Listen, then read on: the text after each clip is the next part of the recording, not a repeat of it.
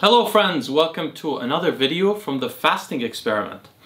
You'll recall I made a video last time which is uh, part of my podcast. I think it's podcast number 12 which was the introduction to my fasting experiment. This is the second video in that series.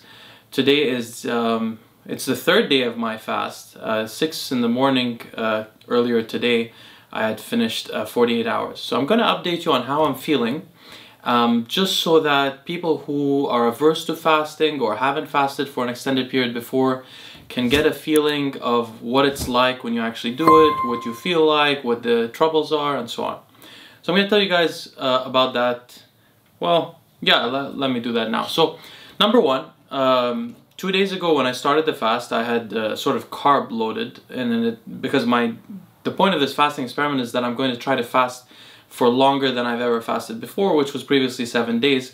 Not for health reasons, but just so that I have the experience and can can say, oh, I fasted for you know longer than seven days, and so that I know what it's like. So anyway, um, so I carb loaded a little bit to have more energy for the, extent, the, the duration of the fast. My weight was 184 pounds two days ago. Today my weight is 176 pounds, uh, point something. I don't remember exactly what it was, but it's more around my normal weight. Still, my normal weight would be more like uh, 173 or so. Um, but I think I could have gained some fat in the last few weeks while I was overeating as well. So the weight has uh, come off a bit. Now, if you're if you weren't carb loading, you would still probably notice. At, uh, depend it depends how muscular you are and how much water you carry and your size as well. But you'd still notice um, quite a few pounds. I mean, usually, usually I weigh around 100, between 165 and 175, and usually I lose about five pounds on a five day fast. Most of it is in the first two days, and then actually not most, really, you lose quite a, it, the rate at which you lose de decreases after two days, but it doesn't decrease that much um, for the remaining five days. But, uh, but for, so for, in this fast though, I've lost quite a bit so far. I don't I don't expect it'll continue at this rate. Anyway, so I weigh. Sorry, I'm going a little off topic. I weigh 176 pounds now.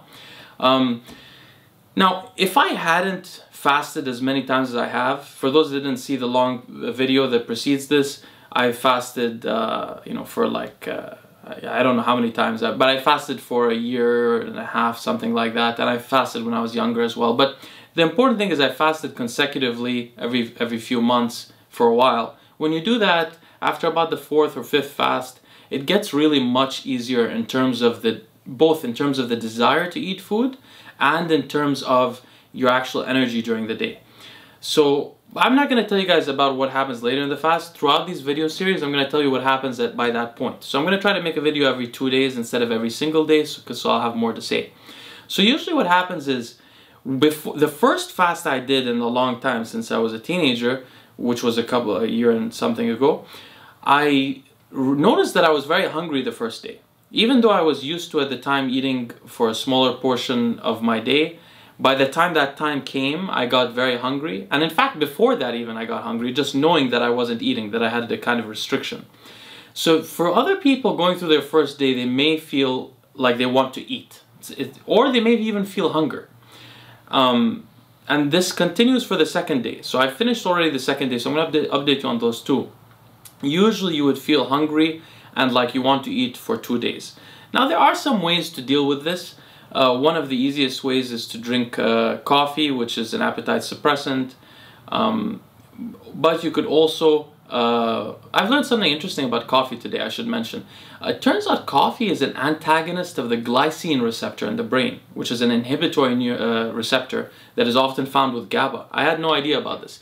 I just thought it was an antagonist of uh, adenosine, which is a sleep-related uh, hormone. Anyway, the point is, um, so you could drink some coffee, which uh, suppresses your appetite, sort of a trick, or use another stimulant. Um, but you could also you know, usually in the first couple of days you don't really need this, but later on people want to taste something. Going on a pure water fast is much harder because your mouth gets, you get bored of not tasting anything for days. So a lot of people use teas or coffees. Uh, given what I said in the first video, you guys understand that I think that this uh, probably has no relation, no impact on the health outcomes of the fast, so there's no reason not to do it. Um, but also, to be honest with you, although I don't drink um, like diet beverages, I, I really like Diet 7-Up and Diet Sprite. I don't drink them normally, and I didn't drink them for most, almost all of my fasts for a long time. The reason why I don't mainly is because I don't eat processed foods at all, and I there's a there's a I have a video on this called uh, it's just search for any energy drinks on my channel. I'll try to link it here somewhere. But the important thing is that it causes some dysbiosis in the microbiome. So this is the main concern that I have about it. But uh, I've decided on this fast, uh, and I did also in my last fast, to start drinking Diet 7-Up again. So I don't drink much of it, but it's it's very, uh, you know, it relieves your boredom in terms of taste. So you can do that, you can suppress your appetite a little bit. But the first couple of days when you first start, you're gonna be hungry. And more than being hungry, it depends how much you eat normally. It depends also on your, how, uh, as I mentioned before, if you're already in a ketogenic state, you'll be far less hungry. But the first two days is when you're getting in your ketogenic state. So in that time period, your body's starving. If you're used to glucose, your body's starving for glucose. It sends you signals that you that you need glucose. And then you also have your addiction to food, which is to me the major issue. But for some people, they may also have that glucose issue. Um, but uh, so or you know or anyway so i won't get into details but the point is the for me the addiction to food is the main concern so you I have a habituation to food like everybody else does so I eat at certain times of the day or I eat after certain things so for example today I just uh, interviewed Dean St. Mart who's a chemist and a bodybuilding coach by the way um, I've discovered he is the second bodybuilding coach that I know of now that is health conscious and has good rationale for um, the way he thinks about various things. It was a really enjoyable discussion. You guys should look forward to the podcast. But the point is, usually after I finish my podcast, I eat something. So today I finished my podcast and I that's the only time in the last two days that I felt at all hungry. For a second I thought, oh I could and then I, I forgot about it. But so it, it's not big it's not, to me I'm I'm very used to it. I've done so many of these that I usually don't get hungry. To be honest, I usually don't get really I don't get hungry until until I finish the fast. I usually just decide to stop the fast on the fifth day because I've reached the time where I think it's enough to fast and you know, I don't, I wouldn't, I'm, I'm almost never hungry when I break the fast anymore. But in the first couple of fasts, I was hungry on the fifth day when I broke my fast. So there's a big change. So basically there's the addiction uh, to food, the habituation to food, and there is the, uh, you know, the glucose thing, dynamic, where you, your body's getting used to using fats instead of sugar. And as that happens, that happens by the end of the second day for sure. So after the second day, which I'll update you on later, but I'm technically on my third day, so I can tell you it, it gets way better. Even, even the first time you do it. You stop being physically hungry. And then comes another part of the fast, which I'll get to in my next discussion. I just want to update you on a couple more things. So, okay, I've updated you on everything except one thing. So basically, my uh, wife, Lucie, is also fasting. But what she's doing, so she usually fasts the five-day fast just like me. And in fact, she fasts sometimes for one or two days on her own as well. She's very she's an avid faster. But uh, what she's doing, she, of course, she she doesn't want to do the really extended fast because there's we're not doing it for health reasons. So what she, but what she's gonna do to give me company is she's going to fast for a week, I think, a week fully, and then she's going to fast using Valter Longo's fasting mimicking diet for the remaining period that I fast. I don't know if she can go that far. I don't think it'll be healthy, but um, but she's going to she's going to go. Wait, she doesn't have an end date, but she's going to try it. And uh, the interesting thing is that she's making a YouTube video about it.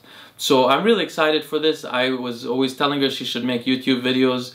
She has a lot of great advice and um, experience and uh, a great, you know, of course I'm biased, she's my wife, but I, I think she has a great personality and stuff. So I, I was always encouraging her to make YouTube videos and she's finally, uh, you know, uh, bit the bullet, I think that's the term, and so she's made a couple. So she's making one every day, but she hasn't uploaded them yet to her channel.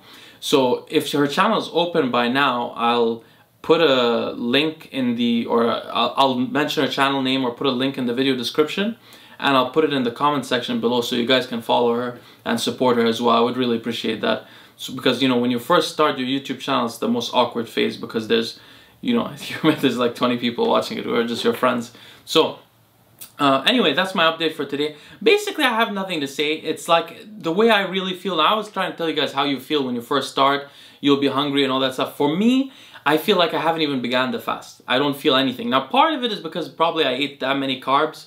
But even in the last two or three fasts that I had, especially the last two, which are more recent, I know that I was not at all hungry in the second day, or, or I'm not at all tired either. It hasn't affected my brain function at all. I have no less energy. To be honest though, it was a little weird. Yesterday I was slightly lightheaded when I was walking my dogs, but um, I don't really know why. That didn't happen the last two fasts, and it's not happening right now. So basically, I feel totally normal. No, nothing's going on. Oh, another thing I should mention. We have a Reddit uh, thread now to support each other fasting, which Morning Iron opened and he's going to fast I think starting Monday as well. So if any of any of you also want to fast and want to support each other, go comment on the Reddit thread and I'm commenting there as well. And I'll update you guys in about two days and let you know how it's going then. Probably I'll still be fine, but I'll tell you guys how it would go if, if you're new to it. Um, oh, I should mention supplements. So to be honest, I haven't taken any uh, supplements yet until this morning.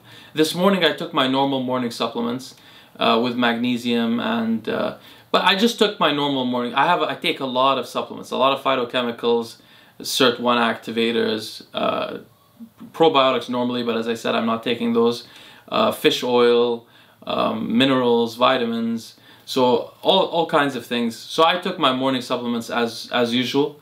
I didn't really notice an effect of it. I didn't take it yesterday just because what I do with my supplements, this is really off topic, but what I do with my supplements is I usually, uh, I have like, um, I use my old prescription bottles, which is why really somebody should make a product where you can store a lot of your supplements that's big because all these, the pill boxes are too small. Anyway, I put mine in my prescription bottles from my pharmacy and I have like uh, two or three of them per day.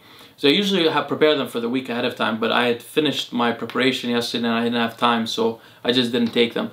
But today I prepared them again, so I started with my supplements again. That's all I have. Those are all the updates. Obviously, I'm not exercising. No bike, no gym, um, and my knee is still a bit odd, so I'm not exercising. So that's all the updates. I'll tell you guys what's going on in a couple more days but it's gonna get really interesting. I'll keep updating you guys on what would happen if it was you, but it's gonna get probably more interesting after the seventh day or so because to me that's unknown territory and I have no idea what to expect. Thank you guys for listening and we'll see you next time.